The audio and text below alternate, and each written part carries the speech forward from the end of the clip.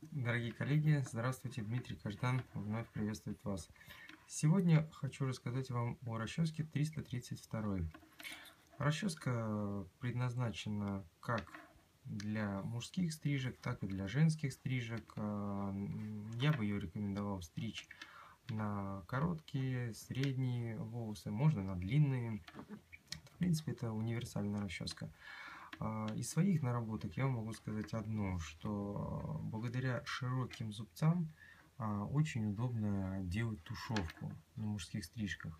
И зачастую я многим мастерам говорю, что данную расческу по большей части должны любить мужские мастера за счет вот своих а, широких зубьев. Удобно делать глубокую филировку на мужских стрижках. В принципе, также можно и на женских делать, не принципиально. Но как вот со мной делятся многие мужские мастера, им вот она почему-то стала ближе. А, видно, наверное, из-за своей особенности, из-за своих больших зубцов, они хорошо делают тушевку. Я, честно вам сказать, я ее использую. Сейчас, в последнее время, я использую, и люблю ей стричь челки. А, не знаю, конечно, почему, но вот в последнее время что-то мне я подсел на нее и стригу ровные челки.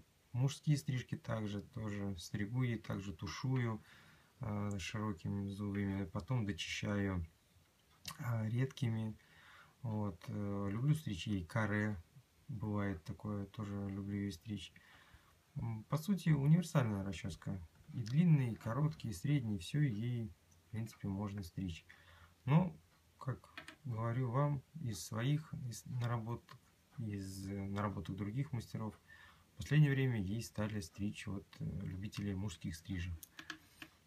Вот все, что я, в принципе, хотел вам рассказать о данной расческе. Ах, да, еще смотрите, а ушок у них достаточно тоже тонкий, достаточно маленький такой, вот он не выступает, здесь ничего, достаточно ну, узкий, да, что, в принципе, опять же, подтверждение моих слов, что а почему любят их мужские мастера. То есть хорошо, хорошо выполнять тушевку. Все-таки а, бушок достаточно маленький. Вот. Так что, если кому понравилась расческа, заказывайте ее у меня. Буду рад вам ее отправить или продать в Санкт-Петербурге. Спасибо.